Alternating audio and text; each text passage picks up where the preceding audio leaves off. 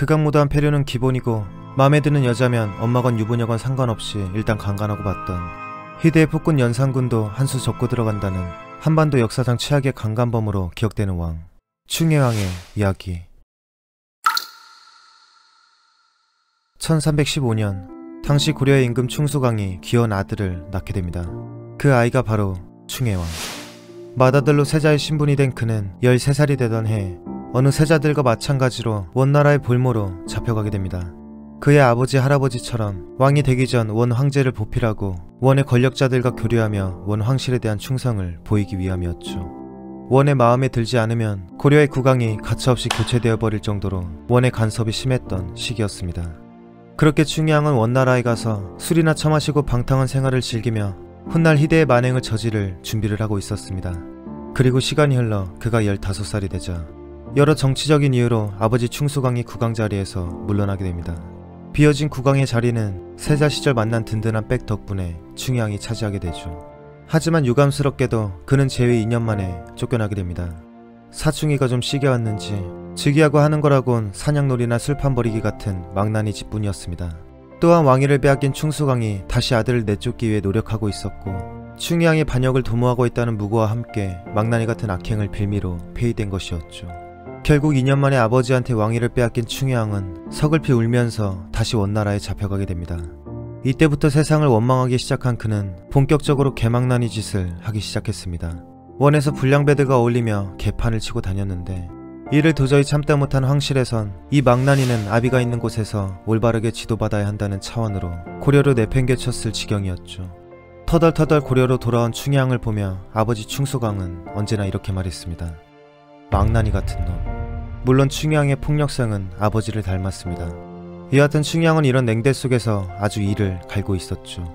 그러다 7년이 지난 1339년 충수광이 세상을 떠나게 되고 그 자리를 충양이 다시 차지하였습니다. 그리고 이제부터 사달이 나기 시작합니다. 먼저 그는 재위 내내 사냥을 끝도 없이 즐겼습니다. 사냥을 즐기는 것은 큰 문제가 아니었지만 국정은 짓불 살피지도 않았으며 그를 따르는 밑에 무리들이 민간에 해악을 끼치는 게 상상을 초월했죠. 하지만 더 큰 문제는 따로 있었습니다. 그는 그 어디에서도 볼 수 없었던 연쇄 강간마였다는 것. 보기한 그는 먼저 자신의 장모를 겁탈하고 아버지의 여자, 즉 새어머니 수비 건 씨를 간통해버렸죠. 여기서 그치지 않습니다. 충양은 아버지가 죽고 아버지의 정실부인 경화공주를 위로하기 위해 두 번 향연을 베풀었습니다. 이에 고마움을 느낀 경화공주도 담례로 연애를 베풀었죠.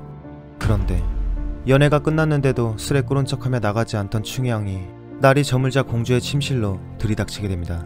공주는 울고 불며 저항했지만 충양은 무리들을 시켜 그녀의 사지를 붙잡고는 겁탈을 하게 됩니다. 다음날 수치스러움과 분노를 느낀 공주가 원나라로 돌아가려 하자 충양이 감금시켜버리는 짓까지 해버렸죠. 1341년 3월에는 권한공이란 자의 둘째 부인 강씨가 아름답다는 소리를 듣고는 간통하려 했는데 심부름하는 놈이 먼저 간통해버려서 둘 다 때려 죽인 일도 있었습니다. 또 한 번은 예쁜 처녀의 소식을 듣고 강간하러 갔는데 주인집 노파가 딸이 없다며 거절했더니 싹 다 죽여버린 일도 있었죠. 어느 날은 배전이란 재상을 원나라로 파견 보낸 다음 배전의 아내와 그 아내의 동생을 이대일로 겁탈해버리는 만행도 저질렀습니다. 물론 내시들의 아내도 피해갈 수 없었죠. 이외에도 예쁜 여자면 죄다 겁탈해버리는 믿기 어려운 미친 어마무시한 인간이었습니다. 한편 충양을 향한 백성들의 분노도 이만저만이 아니었습니다. 새 궁궐을 짓는다며 무리한 토목공사를 강행했고 마곡간을 만들기 위해 민가 100개를 철거해버리는 상식을 뛰어넘는 행동을 보였습니다. 이때 백성들 사이에서 왕이 민가의 어린아이 수십 명을 잡아다가 새로 짓는 궁궐의 주춧돌 아래 묻는다는 유언비어가 퍼졌습니다. 이에 겁먹은 백성들은 아이를 안고 도망쳐 숨었는데 그 틈을 타서 불량배들이 도둑질을 자행했죠. 당연하게도 이처럼 답도 없는 그의 막장 행보의 결과로 많은 신료들이 등을 돌리게 되었습니다. 결국 이러한 악행을 보고받게 된 원나라 황제는 충양을 잡아오라는 명을 내리게 되었고 앞으로 남은 건 그의 비참한 말로뿐이었습니다. 황제의 명을 받은 원의 사신이 충양을 보자마자 기냥 발로 걷어찬 뒤 결박해버렸습니다. 이처럼 국왕이 구타를 당해도 고려의 신료들은 저지하지 않았고 꿀잼 관전을 하고 있었습니다. 심지어 원나라로 압송되어 가는 도중 날이 추워 지방관에게 이불을 달라 했더니 그 지방관이 이렇게 말했죠. 왕이 탐욕과 음행으로 인해 죄를 얻었는데 또 제 이불을 뺏으려 하니 어떻게 할까요? 이런 굴욕을 겪으며 원나라에 도착한 충양을 보고 원 황제는 이렇게 질책했습니다. 그대는 사람들의 임금이 되어서 민을 약탈함이 너무 심하였으니 비록 그대의 피를 천하의 개에게 먹여도 오히려 부족할 것이다. 그러나 짐이 죽이는 것을 즐겨하지 않으므로 이에 그대를 개양으로 유배 보내니 그대는 나를 원망하지 말고 가라. 그렇게 복이 4년 만에 폐위되어 유배를 떠나게 된 충혜왕. 유배지로 데려가는 수레가 너무 빨리 달리는 통에 충혜왕은 온갖 고통을 겪어야 했습니다. 그러다 죽었습니다. 30세의 나이로 유배지에 도착하기 전에 돌연 사망하게 되었죠.